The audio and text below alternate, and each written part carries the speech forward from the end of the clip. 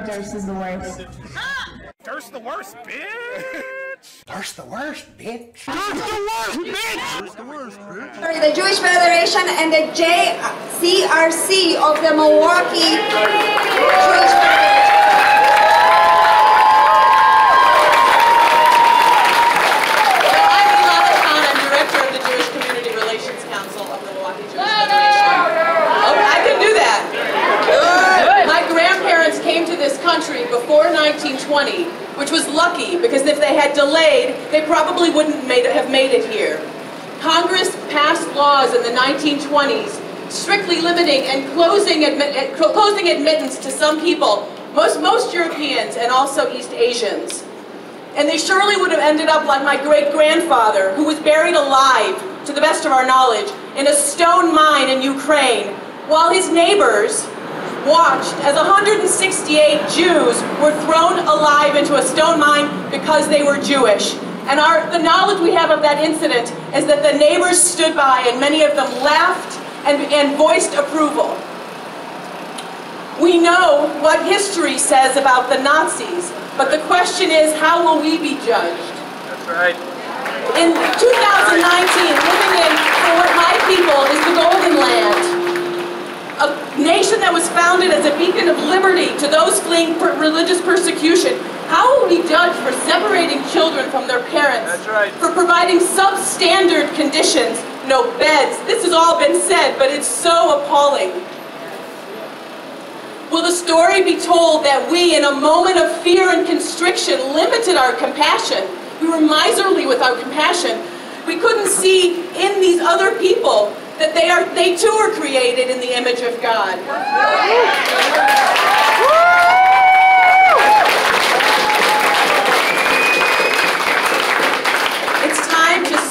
Our hearts and harden our stances. What kind of policies would we enact if those people were our kin? If we saw them as our kin, as our children, as our brothers and our sisters, and our mothers and our fathers? If we loved them like people who mattered? My commands over and over and over again to love the strangers because we were strangers in a strange land. Not just to love the neighbor, but to love the stranger because that indeed is more challenging.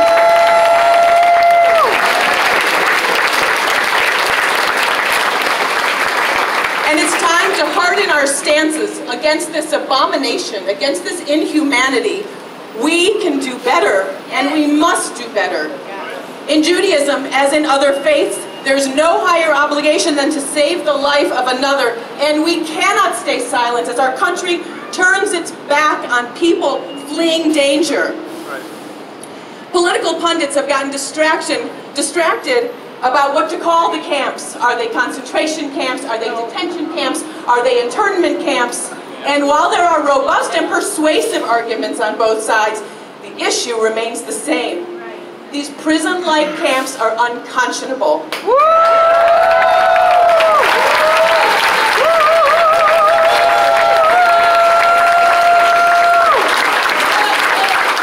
are arguing about semantics, where children are going unfed, unclothed, and unbathed, left to fend for themselves under terrible, terrible circumstances.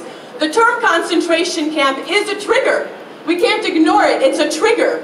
But I would say we have to keep people first, keep people in mind, take care of people.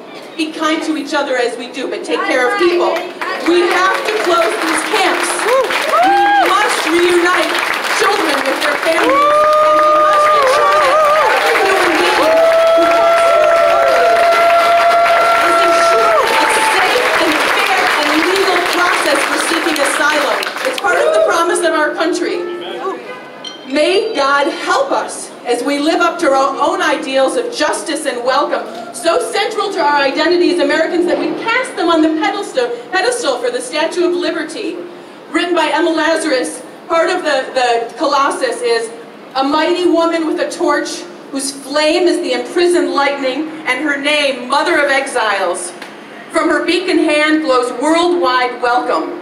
Her mild eyes command the air-bridged harbor that twin cities frame. Keep, ancient lands, your storied pomp, cries she with silent lips.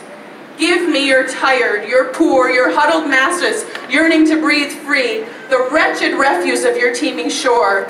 Send these, the homeless tempest tossed to me. I lift my lamp beside the golden door.